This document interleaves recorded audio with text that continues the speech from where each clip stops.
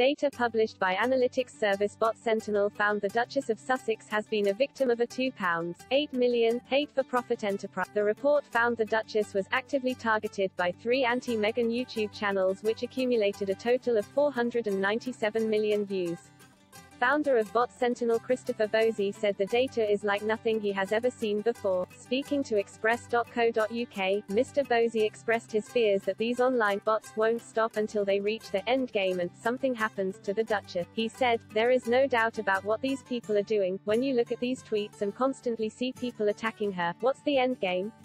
If she has already left the UK, she and Harry don't have any royal duties or anything so why are they still attacking her? I believe that the end game is they want to see something happen to her, they want to see that it boils over so that she hurts herself or maybe someone hurts her or the marriage goes bust. Bot Sentinel identified at least 25 channels that predominantly targeted the Duchess but Mr. Bouzy revealed there were many more. The report said, It's our opinion that several of the most well-known and active hate accounts were actively targeting journalists and royal commentators to boost their visibility and amplify their hate campaign. In some cases, they were successful, but Mr. Bouzy believes the motivation behind the conversation has shifted since the Duke and Duchess stepped back from the royal family. In January 2020, the couple announced they would be standing down as senior members of the royal family and shortly after the couple relocated their family to the US.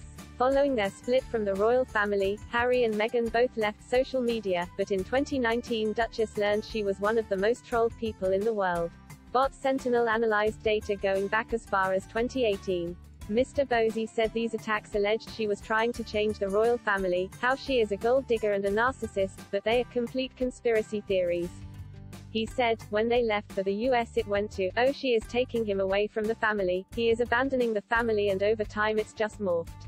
In the beginning, it was about Meg she and we want her to go. Well she is gone now and these accounts are still attacking her. They are still going after her so the motivation, in the beginning, was more or less about attacking her for coming in as an outsider, coming in as an American, and disrupting the royal family. Now the narrative is just complete conspiracy theories and just a complete load of nonsense at this point.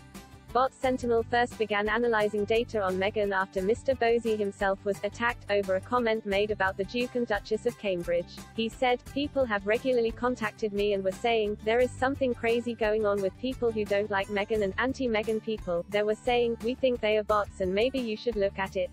I made a comment about William and Kate, just off the cuff and all of a sudden I was swarmed and attacked and I thought this is really bizarre, this is not normal.